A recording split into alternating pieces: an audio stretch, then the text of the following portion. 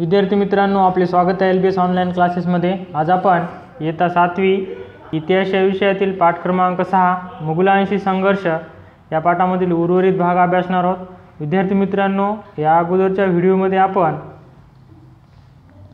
आग्रा भेट व सुटका आणि मुघलांविरुद्ध आक्रमक पवित्रा हा भाग अभ्यासला होता. आजच्या व्हिडिओमध्ये आपण राज्याभिषेक हा भाग अभ्यासणार आहोत. तर विद्यार्थी मित्रांनो पहा. छत्रपती शिवाजी महाराज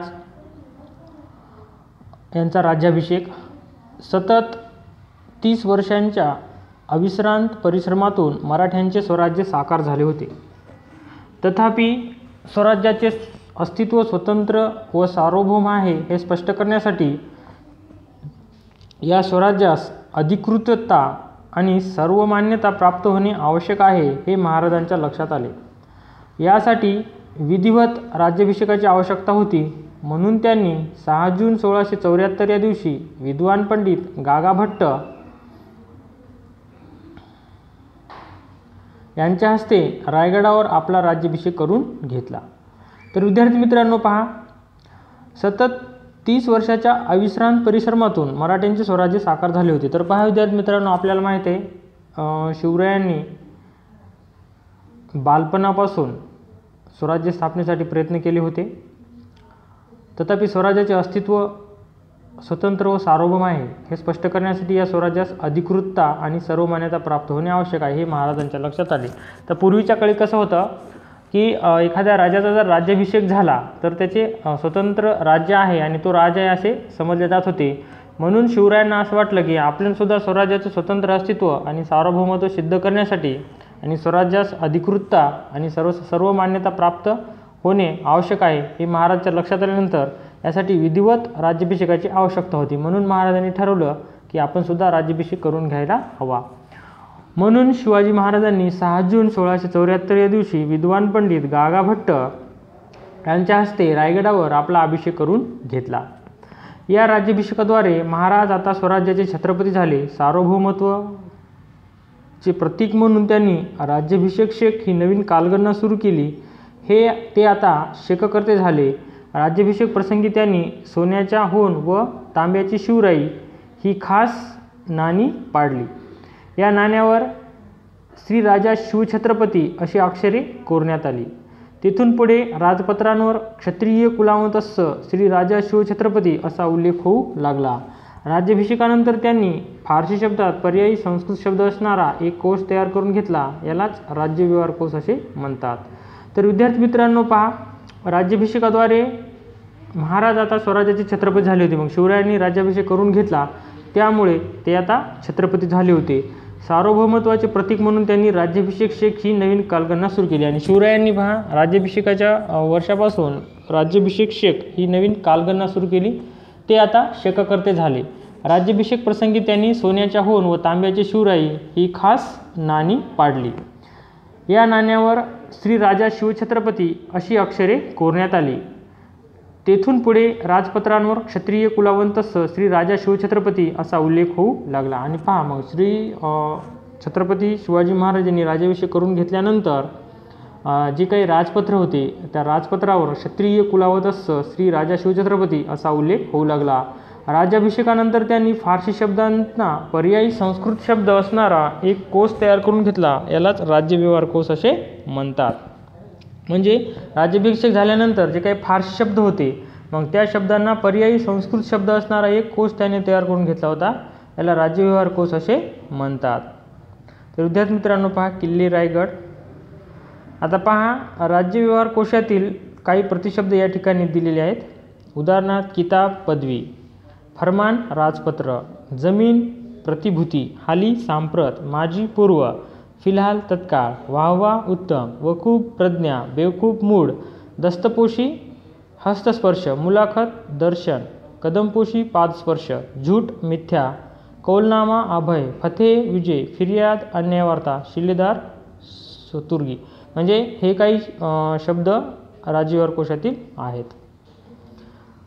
मध्ययुगीन भारताच्या इतिहासामधील शिवाजी महाराजांचा राज्याभिषेक एक क्रांतिकारी घटना होय. या घटनेचे महत्त्व सांगताना सभासद म्हणतो मराठा पातशाह एवढा छत्रपती झाला ही गोष्ट काही सामान्य झाली नाही. तर पहा विद्यार्थी मित्रांनो मध्ययुगीन भारताच्या इतिहासात शिवाजी महाराजांचा राज्याभिषेक ही क्रांतिकारी घटना समजली जाते. कारण तिथून खऱ्या अर्थानं स्वराज्याला महत्त्व हे प्राप्त झालं होतं. या घटनेचे महत्त्व सांगताना सभासद म्हणतो मराठा पातशाह एवढा छत्रपती झाला ही गोष्ट काही सामान्य झाली नाही. म्हणजे मराठ्याचा बादशाह हा छत्रपती झाला ही काही सर्वसामान्य गोष्ट नाही असे सभासद म्हणतो. यानंतर महाराजांनी अल्पावधीतच चोवीस सप्टेंबर सोळाशे चौऱ्याहत्तर रोजी निश्चलपूर्वी गोसावी यांच्या मार्गदर्शनाखाली तांत्रिक पद्धतीने राज्याभिषेक करून घेतला. भारतात वैदिक आणि तांत्रिक अशा धर्मकृत्यांच्या दोन परंपरा अस्तित्वात त्यांना आदर करून महाराजांनी या दोन्ही पद्धतीने राज्याभिषेक करून घेतला. तर विद्यार्थी मित्रांनो पहा यानंतर महाराजांनी अल्पावधीत म्हणजे चोवीस सप्टेंबर सोळाशे चौऱ्याहत्तर रोजी निश्चलपुरी गोसावी यांच्या मार्गदर्शनाखाली तांत्रिक पद्धतीने राज्याभिषेक करून घेतला. भारतात वैदिक आणि तांत्रिक अशा धर्मकृत्यांच्या दोन परंपरा असत होत्या. त्यांचा आदर करून महाराजांनी या दोन्ही पद्धतीने राज्याभिषेक करून घेतला. म्हणजे पहा पूर्वीच्या काळी कसं होतं एक तर वैदिक पद्धत होती राज्याभिषेक करण्याची आणि दुसरी होती तांत्रिक. तर महाराजांनी वैदिक पद्धतीने राज्याभिषेक करून घेतला होता. आणि लगेच त्यांनी मग सोळाशे चौऱ्याहत्तर रोजी जे निश्चलपुरी गोसावी होते यांच्या मार्गदर्शनाखाली तांत्रिक पद्धतीने राज्याभिषेक करून घेतला. त्यांचा आदर करून महाराजांनी या दोन पद्धतीने राज्याभिषेक करून घेतला. माहीत आहे का तुम्हाला? युवराज संभाजीराजे शिवाजी महाराजांच्या राज्याभिषेकाच्या वेळी सतरा वर्षांचे होते. त्यांनी बुधभूषण ग्रंथात राज्याभिषेकाच्या समारंभाचे वर्णन केले आहे. ते त्यांच्या स्वतःच्या अनुभवावर आधारित आहे. पहा युवराज संभाजीराजे म्हणजे शिवरायांचे पुत्र छत्रपती संभाजी महाराज हे शिवरायांच्या राज्याभिषेकाच्या वेळी सतरा वर्षाचे होते. त्यांनी बुधभूषण ग्रंथात राज्याभिषेकाच्या समारंभाचे वर्णन केले. म्हणजे छत्रपती संभाजी महाराजांनी वयाच्या सतराव्या वर्षी जो ग्रंथ लिहिला आहे बुधभूषण या ग्रंथामध्ये त्यांनी शिवरायांचा राज्याभिषेकाचा जो काही समारंभ सोहळा होता त्या सोहळ्याचं पूर्ण वर्णन त्या ग्रंथात त्यांनी केलेलं आहे. हे त्यांच्या स्वतःच्या अनुभवावर आधारित आहे. छत्रपती शिवाजी महाराजांच्या राज्याभिषेक महोत्सवाच्या वेळी निरनिराळ्या प्रांतातून जे ज्येष्ठ विद्वान आले होते त्यांना वजनमाप किंवा मोजदाद न करता विपुल धन देऊन तसेच वस्त्रे हत्ती घोडे यांचे दान करून संतुष्ट केले. म्हणजे छत्रपती शिवाजी महाराजांच्या राज्याभिषेक महोत्सवाच्या वेळी निरनिराळ्या प्रांतातून जे विद्वान लोक आले होते त्यांना वजनमाप किंवा मोजदाद न करता विपुल धन देऊन तसेच वस्त्रे हत्ती घोडे यांचे दान करून संतुष्ट केले. अशा प्रकारे छत्रपती शिवरायांनी आपली कीर्ती निराळ्या दिशांना विस्तारवली शिवाजी महाराजांच्या राज्याभिषेकासाठी अत्यंत मौल्यवान व भव्य सिंहासन बनवण्यात आले. सिंहासनाच्या आठ दिशांना आठ रत्नजडी स्तंभ होते. बत्तीस मन सोन्याचे सिंहासन मौल्यवान रत्नांनी जडवलेले होते. तर विद्यार्थी मित्रांनो पहा शिवाजी महाराजांच्या राज्याभिषेकासाठी अत्यंत मौल्यवान आणि एक भव्य सिंहासन बनण्यात आले होते आणि सिंहासनाच्या आठ दिशांना आठ रत्नजडीत स्तंभ होते. बत्तीस मन सोन्याचे हे सिंहासन होते.